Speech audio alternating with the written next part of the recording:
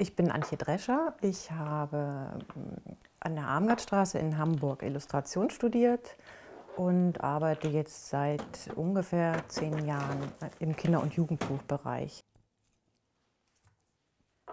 In diesem Fall für das äh, Dornröschen habe ich eben mit Feder über diese, diese Kopien, die ich da eben äh, gemacht hatte, darüber gezeichnet. Ich habe den Text bekommen, habe den ähm, mehrfach gelesen, ein bisschen äh, natürlich schon mal Bilder, die automatisch in den Sinn kamen, geordnet für mich und habe dann eben, weil ich, weil ich so eine bestimmte Stimmung im Kopf hatte beim Lesen der Geschichte, hatte dann eben äh, in diesem Papier, was ich dazu eben schon gleich im Sinn hatte, habe ich dann eben gesucht nach Bildern, ob es da Übereinstimmungen gibt von der Stimmung, aber eben auch von Szenen, die ich dann eben so im Hinterkopf hatte.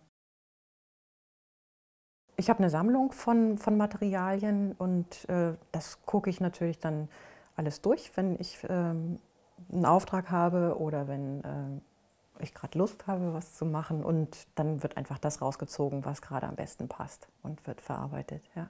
Andere Sachen liegen dann über Jahre in der Schublade oder im Schrank rum.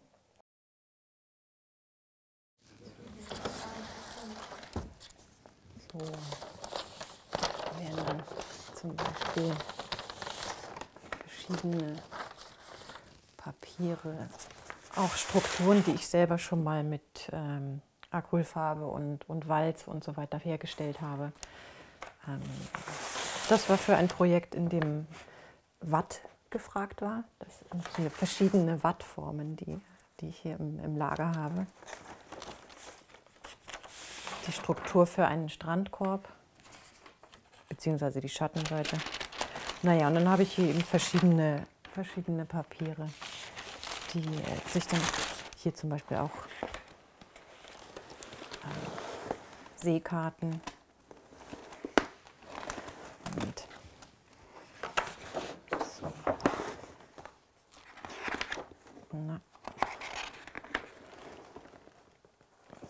So Dann aber auch ähm,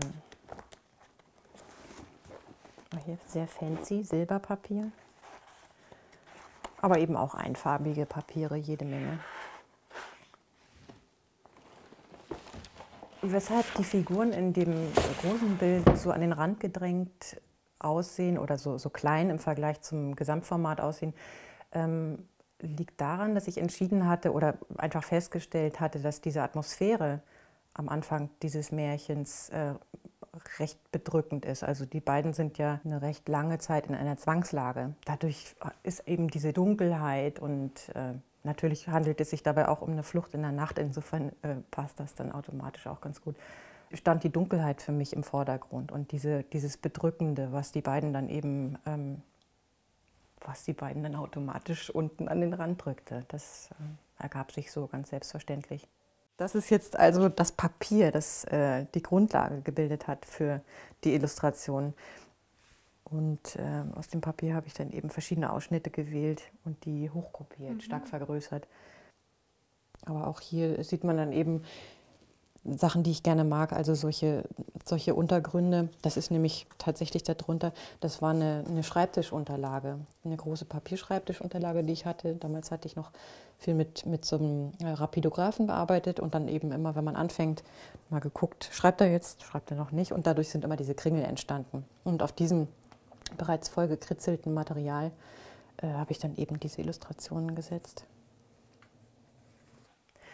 Der Unterschied zwischen äh, Illustrationen für Kinderbuch und für Erwachsenen-Illustrationen oder für Erwachsenenliteratur liegt eigentlich darin, dass ich beim Kinderbuch noch näher am Text äh, dranbleibe.